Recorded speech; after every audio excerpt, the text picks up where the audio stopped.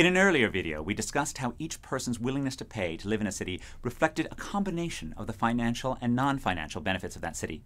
We acted as if those benefits were somehow completely fixed, independent of the size of the city, but they are not. Cities can become both more congested and more fun when they become more crowded. Just as importantly, the productivity of a city, what determines the wages that firms are willing to pay workers, will also depend on the size of the city. The idea that crowding firms together in one metropolitan area makes them more productive is a central concept in urban economics. We call the benefits of urban scale agglomeration economies. Such economies do seem to exist. As city size rises in the US and throughout the world, earnings go up, though not necessarily more than prices.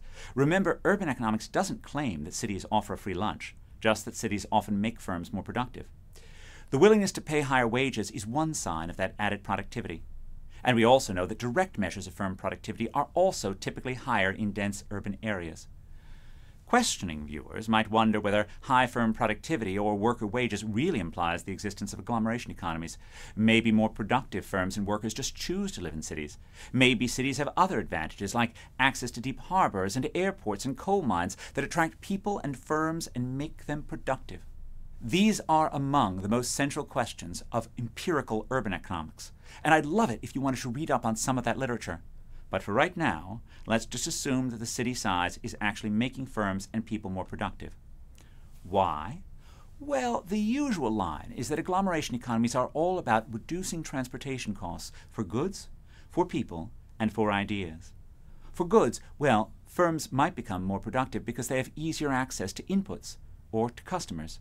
They save the cost of shipping if customers and suppliers live nearby. This was surely important in the 19th century, probably less so today.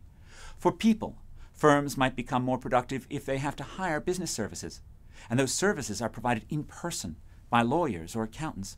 Alternatively, a greater density of workers might allow firms to become more productive by matching to the workers that are best suited for their needs. A related hypothesis is that the size of urban markets makes it easier for firms and people to specialize, and specialization leads to greater productivity.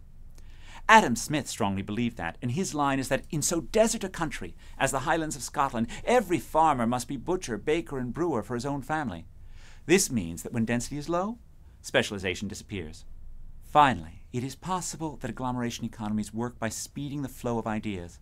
If entrepreneurs and managers get better ideas by learning in cities, then they will become more productive, and some of that productivity may well turn into higher wages for their workers.